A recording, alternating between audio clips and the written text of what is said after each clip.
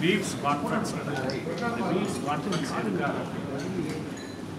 மொத்தம் அதாவது இங்கே வந்து தமிழ்நாட்டில் வந்து ப்ரொடியூஸ் பண்ணுற products textile products particularly powerloom products இது more specific to powerlooms looms cluster இருக்குது ஈரோடு சுற்றி பெரிய கிளஸ்டர் இருக்குது அஞ்சு லட்சம் பேர் வேலை செய்கிறாங்க அதை வந்து இந்தியாவுக்கும் உலகம் பூரா ஷோகேஸ் பண்ணாங்க இந்த கான்ஃபரன்ஸு வெளிநாட்டிலேருந்து வர்றாங்க. இப்போ வந்து பங்களாதேஷ் ஸ்ரீலங்கா மயன்மார் வியட்நாம். இவங்கெல்லாம் வந்து ஃபேப்ரிக் நிறையா இம்போர்ட் பண்ணுற கண்ட்ரி அவங்க வந்து இம்போர்ட் பண்ணி அங்கே கார்மெண்ட் பண்ணி எக்ஸ்போர்ட் பண்ணுறாங்க அவங்களையும் வரவழைக்கிறோம்.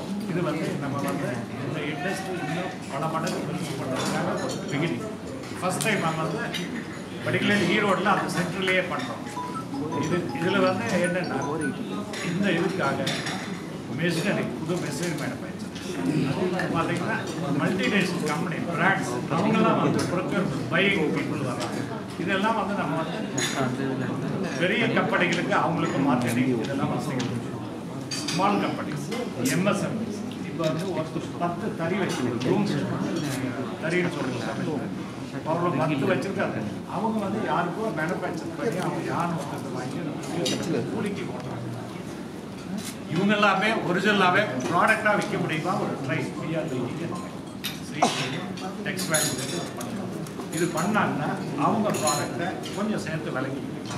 இப்போ நாங்கள் வந்து இதில் வந்து கவர்மெண்ட்டும் பார்ட்டிசிபேட் பண்ணுறாங்க சென்ட்ரல் கவர்மெண்ட் வர்றாங்க ஸ்டேட் கவர்மெண்ட் வர்றாங்க இது வர்றதுனால என்ன ஆகும்னா இந்த இண்டஸ்ட்ரி இஷ்யூஸ் அது வந்து அவங்களுக்கு தெரியும்.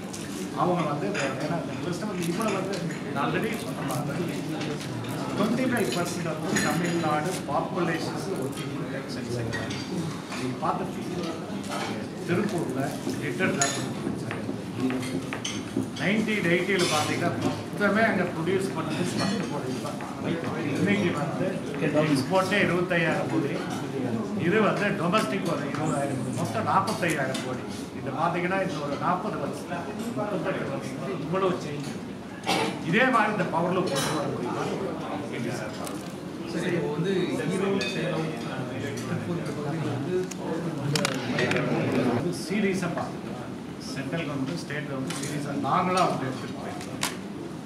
இந்த பவர் இல்லையா இது வந்து ஆட்டோவில் வந்து காஸ்ட்லி ப்ரைஸ் அதான் ஸ்பீடாக ப்ரைஸ் ஆனால் பவர் லோப்லேயே இதே குவாலிட்டி பண்ணணும் அப்புறம் வந்து ஒரு சின்ன ப்ராடக்ட் அந்த இதில் ஏதாவது ஒரு யான் வந்து பிரேக் ஆச்சுன்னா இது வந்து டைம் ஆகும் இதுக்கெல்லாம் வந்து கொஞ்சம் ஆட்டோமேஷன் பண்ணதான் நாங்கள் சப்சிடி தக்காண்டு அந்த மாதிரி அவங்க இம்ப்ரூவ் பண்ணுறது